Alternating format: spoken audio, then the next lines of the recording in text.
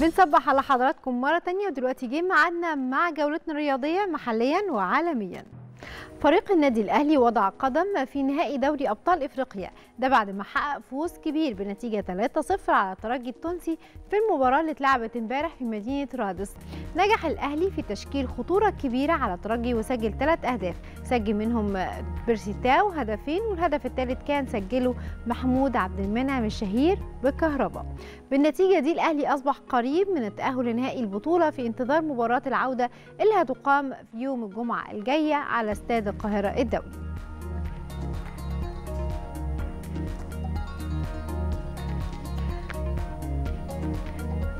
الكولومبي خوان كارلوس المدير الفني لفريق نادي الزمالك استقر على إعادة محمود حمدي الونش وأحمد سيد زيزو للتشكيل الأساسي للفريق قدام الإسماعيلي في المباراة اللي هتتلعب النهاردة على استاد الإسماعيلية وده ضمن مؤجلات الجولة رقم 27 من مسابقة الدوري المصري الممتاز.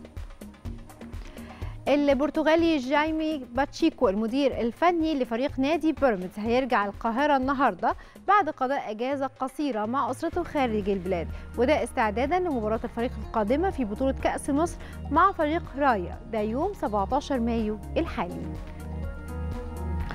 فريق فيوتشر بقيادة علي ماهر هيستأنف تدريباته استعدادا لمواجهة سموحة في المباراة اللي هتتلعب بين الفرقتين يوم الثلاث الجاي الساعة 7 بالليل ضمن منافسات بطولة الدوري الممتاز. مجلس إدارة المقاولين العرب أعلن عن تأسيس فريق بالنادي لكرة القدم النسائية وهيجري النادي مفاوضاته مع عدد من اللاعبات لضمهم للمشاركة في دوري الكرة النسائية. وبالنسبة لفريق سيدات الكرة الطائرة في نادي الزمالك فاز على فريق الجيش الرواندي بنتيجة 3-0 في إطار أول مواجهاته في بطولة أفريقيا للكرة الطائرة سيدات اللي بتتلعب في دولة تونس.